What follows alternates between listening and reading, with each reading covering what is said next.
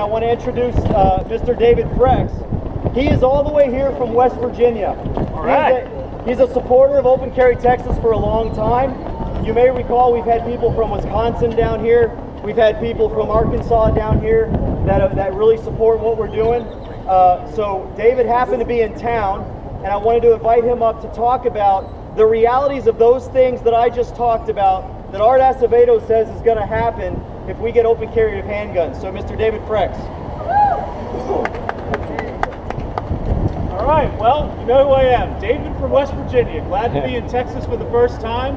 Uh, I want to bring welcome greetings from West Virginia from the Patriots there. They obviously support your effort uh, to get back some of those rights that have been lost over all the years. I will tell you, when you've lost those rights, it takes a while to get them back. That's just the way it goes, folks.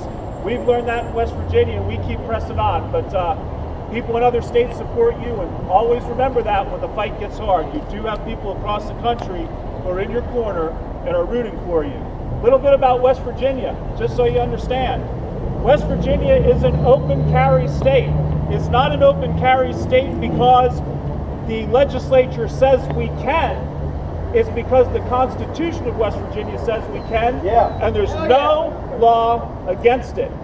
18 years old, no permit. If you are not a prohibited person, you can open carry a modern handgun in the state of West Virginia. I realize that's what you guys want, and we want constitutional carry, and you want it too. We are in that battle as well, and we'll take it on with the legislature again next year. So remember, it's a step by step process. We're living it every year. Uh, I have been watching from afar the legislative activities of the Texas legislature, and I was fortunate enough to have the time to watch the police chief of Austin sit and say a couple of things in hearings that just patently weren't true.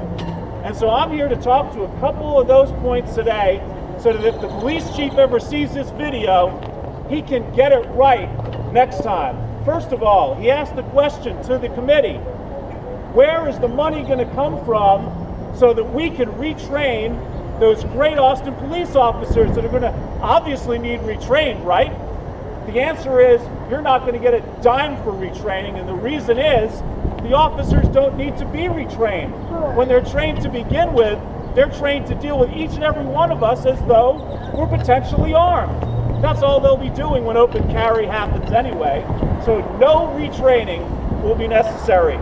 Next, he says, well, if open carry of modern handguns happens, we're going to get more calls. The public is going to be alarmed. We're going to be, in, you know, an influx of all of these different calls from the public. Let me tell you something. I live in West Virginia. I open carry a modern handgun. I have never once been stopped by a police officer because they got a call on me.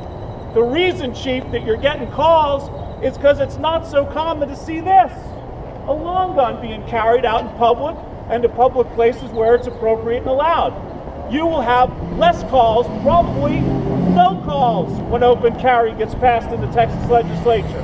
That's just the facts of the matter. Next, he says, well, how are we going to know if permit open carry passes? How are we going to know if that guy carrying a handgun has a permit? We're going to have to go up and talk to him. The answer is no, you're not, because the DeBerry v. US says that a handgun, where legally carried, is not reasonable suspicion or probable cause. He has, his officers have no right to come and engage you if you're legally carrying a firearm. That's the bottom line. Next, he says, people are going to come up behind you when you're carrying a modern firearm and they're going to steal it from your holster because you don't know about retention. I've been living in West Virginia for 25 years.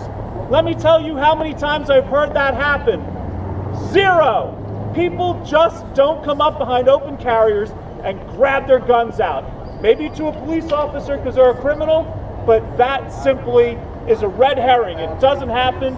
The police officers here in Austin shouldn't be worried about it, and the chief should be ashamed of himself for even bringing it up. So, in summary, I just want to explain to Chief Acevedo that open carry of modern handguns is going on all across the United States. Vermont has had it forever. They have no problems. Come to West Virginia. Talk to the police officers and the chiefs of police in West Virginia, and you'll find out there is no problem with legally carrying a firearm in the state of West Virginia on your hip where you can see it so that you don't have to lug around a big long gun that may very well scare some people who don't understand about firearms. That's the bottom line. Chief Acevedo, you should be ashamed of yourself for each and everything you said in the committee hearings that day. Next, liberal. yeah, we know. Now, a couple more things before I finish up. I'm almost done, so we can get on with our walk. Um, just wanted to, I think uh, most of you, if you uh, watch about open carry, you know that in late March, there was a group, a small group from Virginia Open Carry going to hang out to a walk with some patriots over in Detroit. You've probably seen those videos as well. Do a YouTube search of Detroit drone open carry. They're pretty interesting videos. They're actually well done. I like them. But uh, those guys were going over in the end of March, and unfortunately, they were killed in a car accident. So, if you would, I would like for us all to take a, and just have a moment of silence for those four patriots that certainly would have stood up here and said exactly what I said today. And their names were Jason Spitzer III, David Alexander Armstrong, Jimmy Higgins, and Stephen Kim.